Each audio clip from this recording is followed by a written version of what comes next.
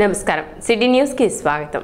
ఏకైక రాజధానిగా అమరావతిని కొనసాగించాలని రాజధాని ప్రాంత రైతులు చేస్తున్న న్యాయస్థానం టు దేవస్థానం వరకు నిర్వహిస్తున్న మహా పాదయాత్రను అడ్డుకునేందుకు ప్రభుత్వం కొయ్యుక్తులు పొందుతుందని టీడీపీ సీనియర్ నేత మాజీ మంత్రి ఆలపాటి రాజేంద్ర ప్రసాద్ పేర్కొన్నారు.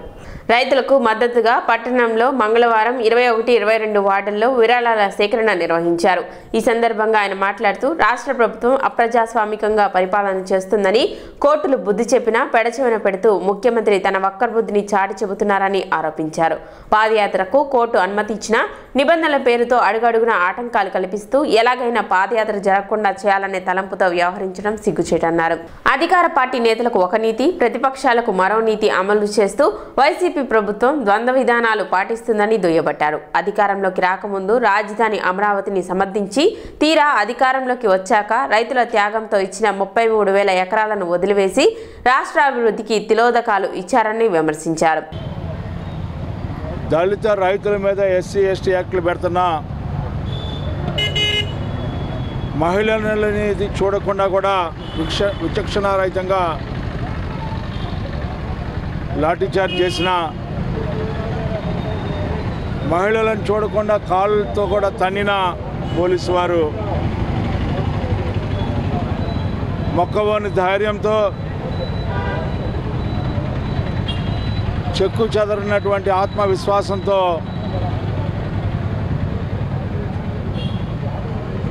ఈనాడు ప్రభుత్వానికి కనువిప్పు కల్పించాలి. ప్రభుత్వం తీసుకున్నటువంటి మూడు రాజధానులు అనే నిర్ణయం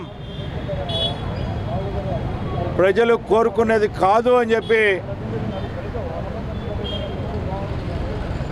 ప్రజలందరి సమ్మతితో దాదాపు ఇరవై ఐదు వేల మంది రైతాంగం తాముకి అనాదిగా వస్తున్న వంశ పారంపర్యంగా వస్తున్నటువంటి ప్రేమతో కూడినటువంటి కీర్తితో కూడినటువంటి ఈ ప్రజా రాజధాని కోసం త్యాగం చేసినటువంటి సందర్భం. దాదాపు యాభై నాలుగు వేల ఎకరాలు ఎవరి యొక్క దయా దాక్షిణ్యాల మీద ఆధారపడకుండా బ్రహ్మాండమైన రాజధానిని నిర్మించుకోవాల్సిన నేపథ్యంలో ఆ ప్రాంతాన్ని ఎడారుగా మార్చాలని రాజధానిలో భాగమైనటువంటి మన ప్రాంతం అంతా కూడా ఆంధ్రులకి అన్నపూర్ణగా అవతరించిన మన ప్రాంతం. ప్రతివాడికి కూడా మూడు పూట్లు పెట్టే మన రైతన్న. ఇవాళ నష్టపోయే పరిస్థితి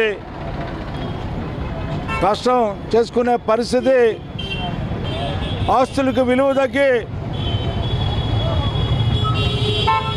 కకావికలం అయిపోతూ ఉంది ఈ ప్రాంతం అంతా కూడా.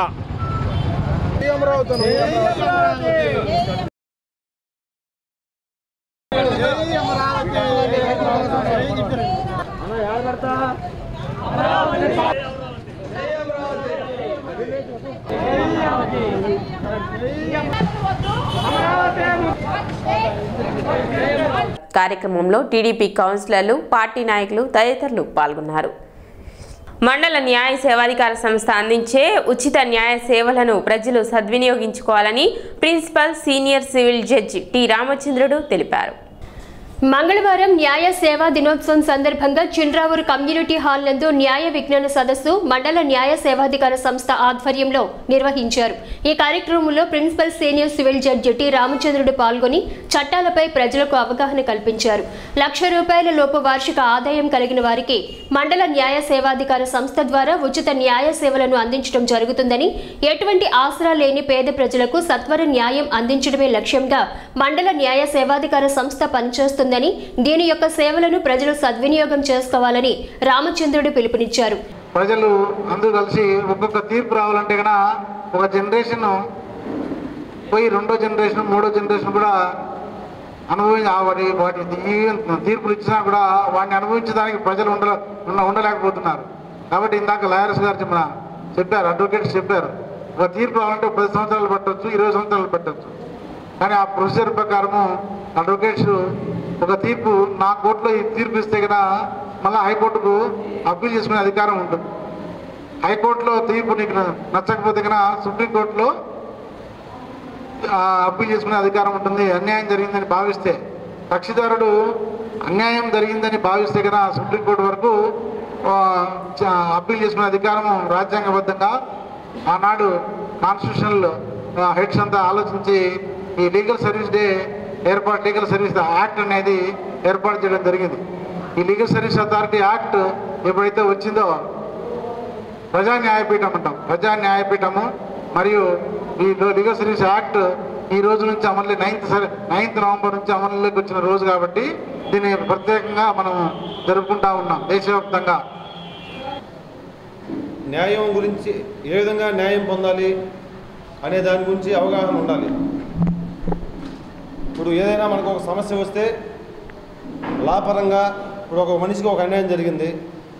ఆ వ్యక్తి నివసించే పల్లెటూర్లలో పల్లెటూరులో ఉన్న వ్యక్తికి ఏదైనా ఒక విషయంలో అన్యాయం జరిగితే ఏ విధంగా ఏ విధంగా ఎవరిని అప్రోచ్ కావాలి ఏ విధంగా న్యాయ సహాయం పొందాలనేది ఆ వ్యక్తికి తెలియదు. దీనికి సంబంధించి ప్రతి ఒక్క కోర్టు భవనంలో లే లీగల్ ఎయిడ్ అందించేందుకు గాను ఒక ఛాంబర్ ఏర్పాటు చేయబడి ఉంది. అక్కడికి వెళ్ళి వాళ్ళు వారికి ఉన్నటువంటి సమస్యని అర్జీ రూపంలో రాసిచ్చినా లేదు నేరుగా వారికి చెప్పినా కూడా వారు వారు చెప్పినటువంటి విషయాన్ని రాసుకొని ఏ విధంగా న్యాయం అందించనేది ఏ విధంగా న్యాయ సహాయం చేయాలో ఆ విధంగా వారికి సహాయపడడానికి కోర్టు ప్రాంగణంలోనే ఒక రూమ్ ఏర్పాటు చేయబడి సహాయం పొందవచ్చు. ఈ కార్యక్రమంలో బార్ అసోసియేషన్ అధ్యక్షులు దాసరి శ్రీధర్ ఏపీపీ ఎలిజబెత్ రాణి పదమూడవ ward councillor Kurra Sujatha one town SI Umamaheswararao పలువురు న్యాయవాదులు పాల్గొన్నారు.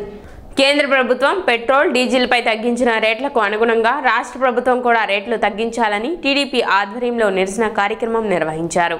కేంద్ర ప్రభుత్వం తగ్గించిన పెట్రోల్ డీజిల్ ధరలకు అనుగుణంగా రాష్ట్ర ప్రభుత్వం తగ్గించాలని డిమాండ్ చేస్తూ టీడీపీ జాతీయ అధ్యక్షులు నారా చంద్రబాబు నాయుడు పిలుపు మేరకు టీడీపీ ఆధ్వర్యంలో రాష్ట్ర వ్యాప్తంగా పెట్రోల్ బంకుల వద్ద చేపట్టిన నిరసన కార్యక్రమంలో భాగంగా పట్టణ ఓవర్ బ్రిడ్జ్ వద్ద నిరసన తెలిపారు.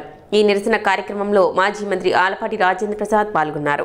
ఈ సందర్భంగా ఆయన మాట్లాడుతూ ప్రతిపక్ష నేతగా ఉన్నప్పుడు పాదయాత్రలో వైఎస్ జగన్ మన రాష్ట్రంలో పెట్రోల్ డీజిల్ ధరలు బాదుడే బాదుడు అంటూ చుట్టుపక్కల ఉన్న రాష్ట్రాలలో ఎక్కడకు పోయినా పెట్రోల్ మన రాష్ట్రానికంటే తక్కువకు లభిస్తుందని చెప్పడంతో పాటు అధికారంలోకి వస్తే పెట్రోల్ డీజిల్పై వ్యాట్ పూర్తిగా రద్దు చేస్తామని మోసపూరిత ప్రకటనలు చేశారని నేడు అధికారంలోకి వచ్చాక ముప్పై ఆరు రూపాయలు వ్యాట్ వసూలు చేసుకుంటున్నారని విమర్శించారు. దేశవ్యాప్తంగా పెట్రోల్ డీజిల్పై ఇరవై మూడు రాష్ట్రాలు వ్యాట్ని తగ్గించాయని కానీ మన రాష్ట్రంలో తగ్గించే ఆలోచన ప్రభుత్వం చేయటం లేదని చెప్పారు. తక్షణమే రాష్ట్ర ప్రభుత్వం కూడా కేంద్రం చేసిన తగ్గింపునకు అనుగుణంగా పెట్రోల్ డీజిల్ ధరలను తగ్గించాలని ఆలపాటి రాజేంద్ర ప్రసాద్ డిమాండ్ చేశారు. ఈ రోజున గతంలో కంటే కూడా ఈ రోజున పెట్రోలు డీజిల్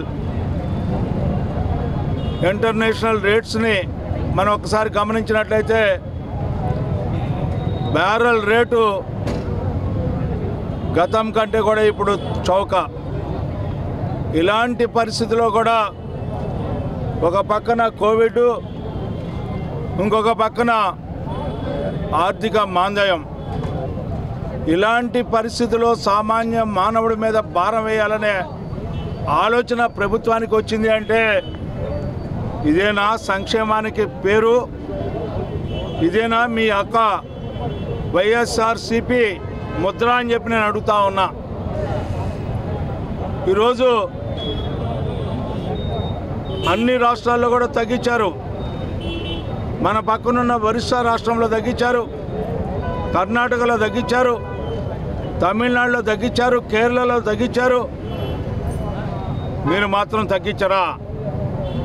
ఎందుకు తగ్గించారని చెప్పి నేను అడుగుతా ఉన్నా. ఈరోజు ఒరిస్సా రాష్ట్రంలో అయితే కేంద్రం ఎంత తగ్గించిందో రాష్ట్రం కూడా అంతే తగ్గించింది. పైగా ఈ రోజున మీరు ఏం చెప్తా ఉన్నారు? ఇదంతా కూడా కేంద్రం తీసుకెళ్తా ఉంది. కేంద్రం తగ్గించాలి మేము ఎందుకు తగ్గించాలని చెప్పి మీరు మాట్లాడుతూ ఉన్నారు. మీరు ఎందుకు సెస్సులు వేశారని చెప్పి నేను అడుగుతా ఉన్నా. పక్క కరోనా ఒక పక్క ఆర్థిక ఇబ్బందులు ఒక మంచి పరిపాలన చేస్తాడు. నూట యాభై ఒక్క సీట్లు మనం ఇచ్చామని చెప్పి ఒక ఆశతో ఎదురు చూస్తుంటే ఇవాళ రంగు నీళ్ళు ఇచ్చి మద్యం తాగమని చెప్తున్నారు. ఇవాళ ఇసుకని పంచదార కంటే కూడా దారుణంగా ఇవాళ డెబ్బై ఐదు వేల రూపాయలు స్టీలు నాలుగు వందల యాభై రూపాయలు ఇవాళ సిమెంటు. ఇవాళ ఏ వస్తువు కొనాలన్నా కానీ ప్రతి ఒక్కళ్ళు కూడా ఇవాళ భయపడే పరిస్థితి. ఇవాళ ముఖ్యంగా ఇవాళ డీజిల్ పెట్రోల్ తీసుకుంటే సామాన్యుడు బండి కిక్కు కొట్టాలన్నా కానీ ఇవాళ భయపడేపోయే పరిస్థితి. ఇవాళ దాదాపు నూట ఎనిమిది రూపాయల దాకా ఇవాళ డీజిల్ని తీసుకెళ్ళి ప్రతి ఒక్కళ్ళు చెప్తున్నారు. జగన్మోహన్ రెడ్డి గారి పరిపాలనలో డీజిల్ నూట యాభై రూపాయలకి వెళ్తుంది పెట్రోల్ నూట యాభై రూపాయలకి వెళ్ళిపోతుందని. మీరు ఆ రోజు చెప్పారు తెలుగుదేశం పార్టీ బాధుడే అని. దీన్ని ఏమంటారని మేము అడుగుతున్నాం. మన ముఖ్యమంత్రి జగన్మోహన్ రెడ్డి ఆ రోజున పాదయాత్రలో ఏదైతే బాధుడే బాధుడు అని చెప్పి ప్రచారం చేసుకొని ప్రజలకు కళ్ళబుల్లి మాటలు చెప్పి గెలిచినటువంటి ఈ ప్ర ఈ యొక్క ప్రజా వ్యతిరేక ముఖ్యమంత్రి. మరి ఈ రోజున దేశంలో ఉన్నటువంటి రాష్ట్రాలన్నీ కూడా ఈ పెట్రోల్ డీజిల్ పైన ధరలు తగ్గించినా కూడా వినయ ఇతని యొక్క నైజం ప్రజలందరూ గమనిస్తూ ఉన్నారు. ఎక్కడా రేట్లు తగ్గించేదానికి సుముఖత చూపకుండా ఇంకా ప్రజా వ్యతిరేక పాలన కొనసాగించడమే కాకుండా మహిళలపై దౌర్జన్యం విద్యార్థులపై దౌర్జన్యం అదేవిధంగా రైతులపై దౌర్జన్యం ఈ దౌర్జన్యకరమైన ప్రభుత్వ విధానాన్ని ఇకనైనా ఆపకపోతే ప్రజలందరూ కూడా మీకు తగిన బుద్ధి చెప్పే సమయం ఆసన్నమైందని చెప్పి తెలుగుదేశం పార్టీ తరఫున హెచ్చరిస్తూ ఉన్నాం.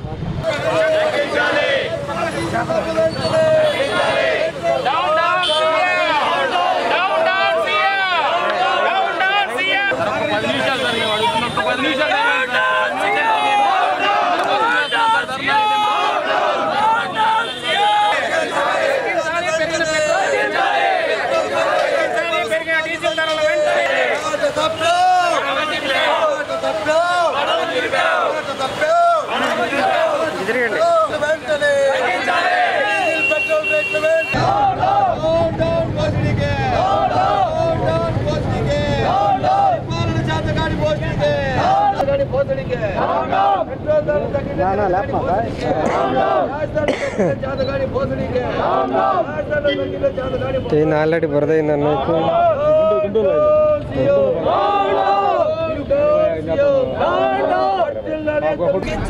పెంచిన పెట్రోల్ పరిపాలన చేత కాని ముఖ్యమంత్రి కార్యక్రమంలో పెద్ద సంఖ్యలో టీడీపీ నాయకులు కార్యకర్తలు పాల్గొన్నారు. ప్రభుత్వ రంగ సంస్థల ఆస్తులను ప్రైవేటీకరించడాన్ని వ్యతిరేకిస్తూ బీఎస్ఎన్ఎల్ ఉద్యోగులు ధర్నా నిర్వహించారు. దేశవ్యాప్తంగా జరుగుతున్న ధర్నాలో భాగంగా తెనాలిలోని టెలిఫోన్ ఎక్సైజ్ వద్ద ఉద్యోగులు నిరసన కార్యక్రమం చేపట్టారు. బీఎస్ఎన్ఎల్లో పదిహేను వేల మొబైల్ టవర్స్ మూడు లక్షల కిలోమీటర్ల ఆప్టికల్ కేబుల్స్ అమ్మకానికి వ్యతిరేకంగా ఉద్యోగులు నిరసన తెలిపారు. ప్రభుత్వ రంగ సంస్థల్లో వాటాలను ప్రవీకరణ చేయటం అనేది కేంద్ర ప్రభుత్వం తలపెట్టింది. దానిలో భాగంగానే మరి బిఎస్ఎన్ఎల్లో దాదాపు పదిహేను వందల మొబైల్ టవర్స్ని ప్రైవీకరణ ప్రైవేటీకరణ చేయడం జరుగుతోంది. అలాగే దాదాపు రెండు మూడు లక్షల కిలోమీటర్లు optical cable fibre fibre cable fibre కేబుల్ని కూడా ఈ ప్రైవేటీకరణ చేయటం జరుగుతోంది. దీన్ని వ్యతిరేకిస్తూ మా యొక్క యూనియన్స్ బిఎస్ఎన్ఎల్ ఎంప్లాయీ యూనియన్స్ అట బిఎస్ఎన్ఎల్లో ఉన్న ఇతర యూనియన్స్ అన్నీ కూడా ఈరోజు నిరసన తెలియజేయడానికి ఇక్కడ సమావేశం అయ్యాము ప్రభుత్వ కార్మిక విధానాలు ప్రభుత్వ కార్మిక సంస్థ ప్రైవేటీకరణను ప్రభుత్వ సంస్థ మరియు ఆప్టికల్ ఫైబర్ కేబుల్ను ప్రైవేటీకరణ నిలిపివేయాలి యూనియన్ జిందాబాద్ యూనియన్ జిందాబాద్ ఏఐబిడిపిఏ ఈ కార్యక్రమంలో ఉద్యోగ నాయకులు DS Dikshitulu Y Hanumantharao Ravikumar PV Apparao మొదలగు వారు పాల్గొన్నారు. సిటీ న్యూస్ ఇంతటితో సమాప్తం. నమస్కారం.